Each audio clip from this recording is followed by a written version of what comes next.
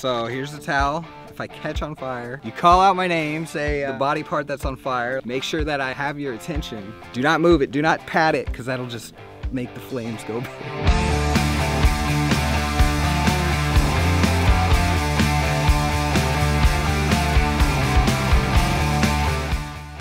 Jake, aka Jaws FPV, is here, Firepoi expert. We've got the Freefly Wave, and he's gonna do some Firepoi, and we're use the wave to kind of capture that in slow motion, get the of the flames going by. And then if we get lucky with light, we're gonna switch over to the Fenster. We've got a bunch of LED panels. Those things make big fireballs, so we're just gonna try to get some cool shots. Let's have you like kind of in the middle of the road here. Got some leading lines back there. Like it's not super bright out. Like everything's running. This is like the lowest that I want to run everything. So I'm hoping that the fire itself actually exposes itself better than this is right now. Oh, this is so sick. Let me know if I need to move.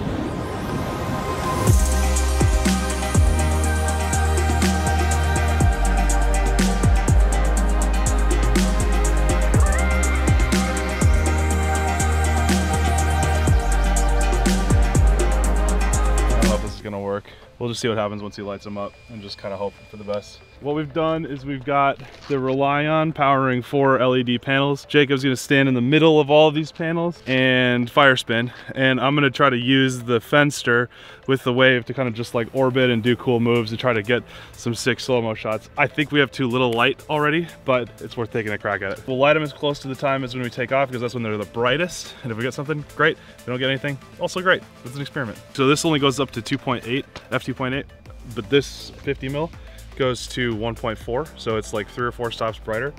And I can just stay wider and do the same thing and maybe it'll work. We'll see. It's fine. It's fine. It's fine. Uh, this thing is really loud, so Cool.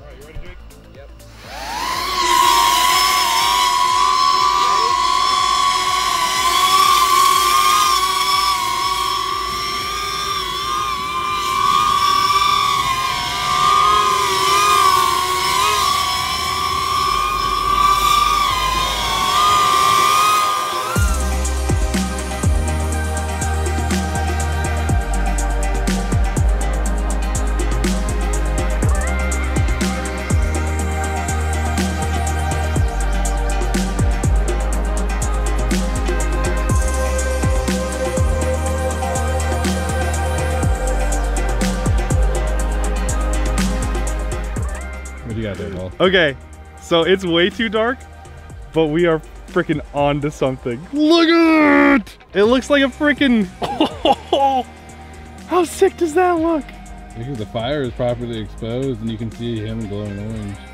Oh my gosh. Just do one more take with more camera angle on that. More camera angle and the 50, I think. And I'll stay way wide and Yeah, just. get outside the light. Yeah. Let's do that.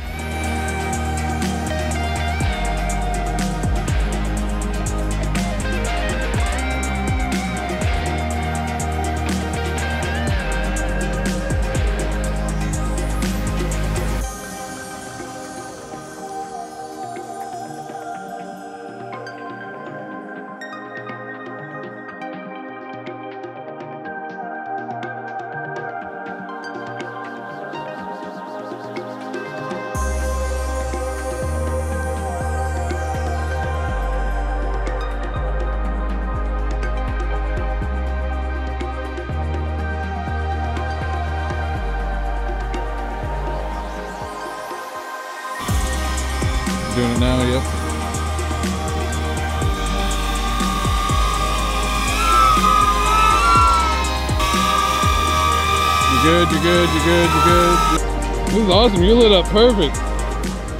Describe what you're seeing, man. What you got? We just made art, dude. I just like everything is it's perfectly focused.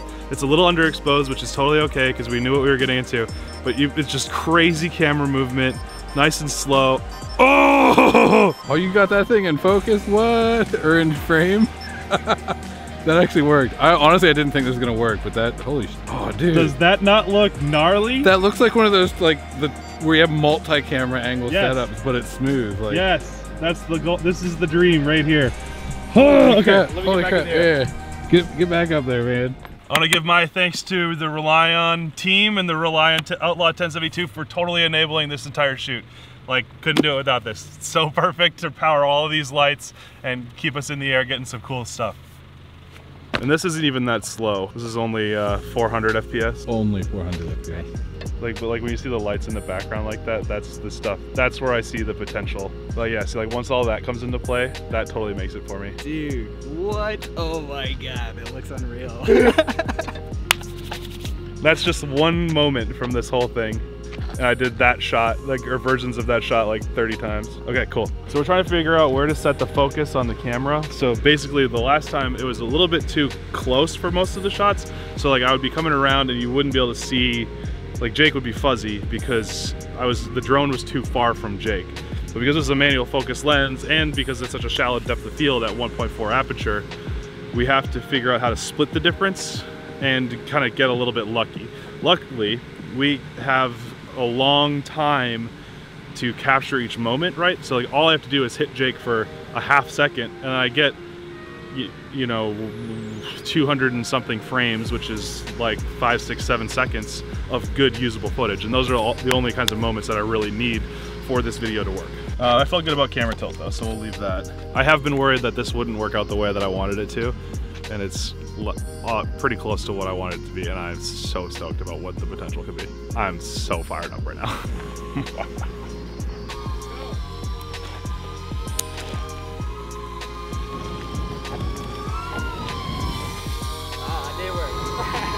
so we've got the shot, but as you can see, I still got quite a bit of fuel on these, so just getting some practice in while I let it burn out. It's the easiest way. I'd rather do that than leave a whole bunch of fuel on here. Yeah. Oh yeah, let's see this shit. Should get the towel. Safety towel. should i have tried this without the fire first You're gonna go up to, to the left. You're gonna hit, you're gonna hit 9 o'clock, 12 o'clock, 3 o'clock, and 6 o'clock. oh my gosh, that was so close to my face. Well, I hope you guys enjoyed your video and that you come back for more. Uh, thanks so much to Jake for offering his Firepoi skills and late night, actually not even late night, it's still literally within 30 minutes of Civil Twilight, and I'm not just saying that because of the FAA, uh, for coming out and helping us film this video. So thanks very much for uh, everything. Jake's putting his life on the line, so be sure to like and subscribe and check out store.nurk.tv for some merch. See you guys on the next one. Stay flying. Goodbye!